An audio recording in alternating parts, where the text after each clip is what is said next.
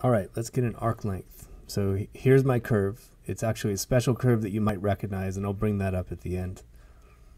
And when I'm getting arc length, I'm talking about adding up a bunch of tiny little arc length elements given by this expression.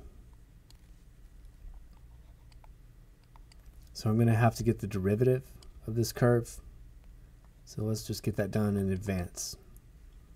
So this is really 1 minus x squared all to the 1 half power. So I get 1 half 1 minus x squared to the negative 1 half power multiplied by the derivative of the interior. That's the chain rule working there. And so y prime turns out to be negative x. I cancel the 2's over the square root of 1 minus x squared. And I'll have to square that when I put it into this expression. So my total arc length is the sum of all the contributions.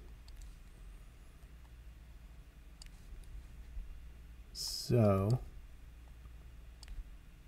I'm going to add all those up as x goes from negative 1 to 1.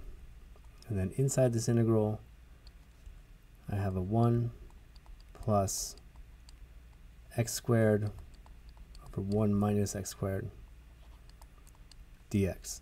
So a couple things about this. One is that I noticed the integrand is an even function because all the appearances of x are to even powers. In other words, if I replace x with negative x, I get back the same integrand. So that means it has mirror symmetry across the y-axis and it could make my life a little easier by writing this this way.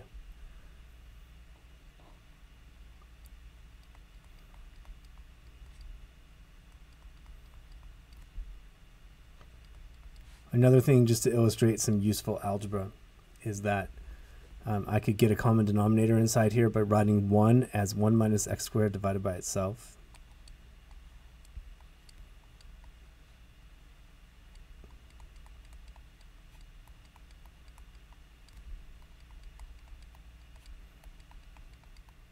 And now I can just add the numerators. And when I do that, I get just a 1 in the numerator.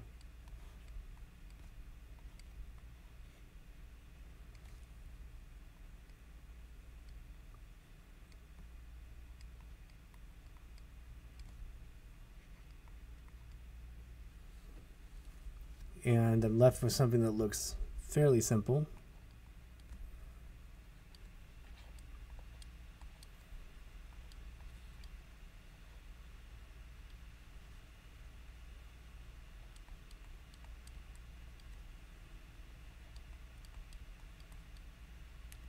You may recognize that as an inverse sine. So I end up with 2 times the angle whose sine is x evaluated from 0 to 1 right, when I sub in the top limit, I have the angle whose sine is 1. Well, that's pi over 2.